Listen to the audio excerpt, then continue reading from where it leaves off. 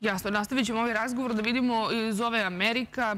E, na Skype imamo gospodina Nenada Bumbića, analitičara koji nam se javlja iz Čikaga, da vidimo da li e, se u Americi uopšte govori o ovim suđenjima. E, tvrdnje Tačijevog branioca Gregorija Kiha da Tači nije bio obučeni vojnik i da je imao samo efektivnu kontrolu nad trupama, to nije istina. On je više bio nalik diplomati i možda ovom izjavom možemo i da potvrdimo da ceo mehanizam ovog suda u stvari konce vuče Vašington, jer ovakva jedna izjava možda dođe samo e, iz Amerike. Da li se ovaj čovek u Americi školovao, da li mu je neko iz Amerike ovo napisao, e, ne znamo, ali pretpostavljamo ko zna. Gospodine Bumbiću, dobro jutro.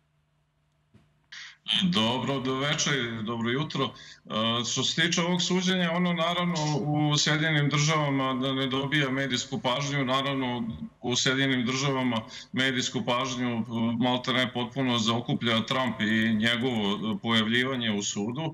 Ovo je nešto što je e, relativno zaboravljena priča, međutim e, šta je dobro što se tiče nas, zato što u razgovoru sa većinom i državnih službenika uopšte u Sjedinim Sjedinim državama i zapadnoevropskim zemljama, što se tiče samog Tačija i e, recimo onoga što se dešavalo i u Hagu, e, postoji svest e, da su neki Albanci koji su hteli da svedoče, to je praktično svi Albanci koji su hteli da svedoče protiv vođe OVK da su ubijeni, da su ili su odustali od svedočenja, tako da postoji negde ta svest i u zapadnim zemljama da nije baš previše dobro ni za Zapad, ni za Kosovo, ni za bilo koga da takve ličnosti ostaju na e, funkcijama na Kosovu. E, naravno, o tome se ne govori toliko i nije to toliko aktualna tema jer se onda prosto dovodi u pitanje i ona zapadna politika koja je postojala i prema Kosovu. Tako da je ovde se ide nekom tišom, e, tišom varijantom, ali u svakom slučaju i u zapadnim zemljama postoji svest da bi trebalo malo, e, malo da kažemo, urediti i počistiti e, to ko su osobe koje su u stanju da vode Kosovo. E sad, pošto očigledno u Americi to nikoga ne zanima, da vidimo šta, su, šta je ono što je glavna tema u Americi. Pretpostavljamo svakako hapšenje Donalda Trumpa, oni su ga na brzinu uhapsili i još brže su ga pustili. E, kakvu je izjavu dao, mi to ne znamo, ali nadamo se da vi imate neke podatke koji će nam biti od koristi. E, evo ja ću vam reći šta pišu naši mediji, ništa, prenose Trumpovu izjavu, kaže sude mi zato što branim Sjedinjene američke države, međutim ono što je sigurno jeste da je Trumpu ova optužnica nekako samo digla rejting. Da li to znači da će on, da on sada ima duplo veće šanse da se vrati u e, Belu kuću ili su to ipak neke zablude koje vladaju kod nas? Trumpu je osjetno skočio rejting u prethodnih meseci i nešto dana. On je, do duše da budemo otvoreni, on je počeo da skače i nešto pre nego što je javno saznala da će e, biti suđenje Trumpu. E, tako da je kod republikanaca on postaje sve popularniji i popularniji i ovo na neki način ujedinjuje republikansku stranku. Sa druge strane isto i drugi deo američkog društva koji je izrazito protiv Trumpa ovo što se desilo slavi. E, međutim, šta je sad zanimljivo? Pošto smo u suštini sad donekle imali priliku da vidimo tačno čemu će biti suđenje, Problem je sledeći, čak i u onima koji podržavaju demokrate koji žele da vide Trumpa u zatvoru. Problem je to što su sada shvatili da u stvari ta krivična dela za koje je Trump optužen su u suštini prekršajna dela a da sada tužioc, da okruženi tužioc treba na sudu da dokaže da su ta prekršajna dela učinjena sa namerom da se počini krivično delo. Tako da je sada na tužiocu da dokaže na sudu da je u stvari postojalo da, da je su prekršajna dela, a one se pretežno tiču sada, ovo će možda da bude malo i zanimljivo, ona se pretežno tiču toga kako su ti troškovi knjiženi.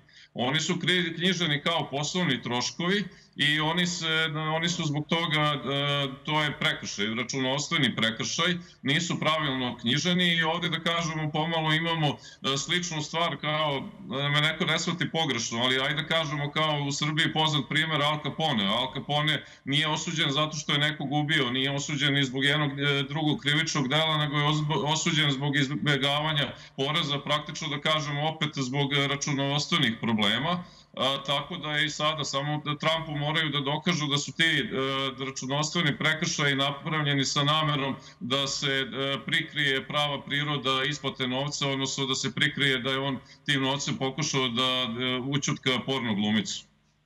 Mhm, Da, e, da li je upravo ta porno glumica glavni krivac za povećanje rejtinga i za možda neke ljude koji do sada Trumpa nisu podržavali, pa su sad odlučili da zbog nje da ga podrže. Amerikanci tvrde da Trumpu A ne, Amerikanci vide u Trumpu žrtvu režima, što mu donosi nove pristalice, a čak i oni koji nikada, kojima nikada nije bio simpatičan, pitaju se ako ovo rade njemu, šta, šta tek čeka običnog čoveka. Sudski progon bi mogao da vrati Trumpa u Belu kuću, a evo i čuvene kako Galo kaže, porničarke. Ko je ova žena? Kada su ove afere počele? Ovo svakako nije prvi put da se za ime Donalda Trumpa e, vezuju i imena nekih e, drugih dama. Sad koji su njihovi poslovi, to je ono što bi možda manje trebalo da nas zanima. U suštini, e, u suštini da, kažem ovde nije toliko problem šta je on radio sa njom, nego je, eto, opet računovodstveni problem. I zbog toga je, e, zbog toga je i ovo celo naslović. Što se tiče Trumpa, on ima još e, drugih problema. Postoji onaj razgovor koji je snimljen kad je on e, državne službenike u Džordžiji pokušavao da nagovori da utiču na izbore tako da ih malo gurnu u njegovu korist i naravno što se tiče dokumentacije koja se našla u njegovoj rezidenciji, tako da postoje još dva značajna slučaja koje nisu došla do suda. Što se tiče onoga gde postoji malo previše, možda kažemo i nade u Srbiji, je u to, to ona se ogleda u tako tim naslovima da sada Trumpa podržavaju osobe koje ga nikada nisu podržavale. Ne, američko društvo je podeljeno, koga je podržavao ranije, podržava ga i sad, one koga nije podržavao zbog ovoga neće e, početi da ga e, podržava, tako da e, ono što će biti zanimljivo je u stvari šta će se desiti. Sada je verovatno da će on biti republikanski kandidat za predsednika, a zamislite sad situaciju da mi imamo republikanskog kandidata za predsednika koji će biti u, e, koji će biti u zatvoru ili ko, ko, predsednik koji rizikuje da ga osude zbog krivičnog dela. Inače, u Sjedinim državama postoji e, dogma koje potiče još od Forda, još iz e, Nixonovog vremena, da kažu da sve ono što predsednik radi po definiciji mora da bude zakonito. Mi smo imali sijaset američkih predsednika od Nixona i od onih čuvenih e, traka pa nadalje koje su uradili stvari koje nisu baš ovako, e, ajde da kažemo, bar tako da kažemo, sigurno nisu moralne i na kraju nisu završili na sudu ni na jedan način, a sada imamo Trumpa koji, evo, sad je došao na sud, u suštini, kažemo, optužen je zbog računovodstvenih prekršaja za koje se smatra da su učenjeni u nameri da se sakrije krivičnom delu.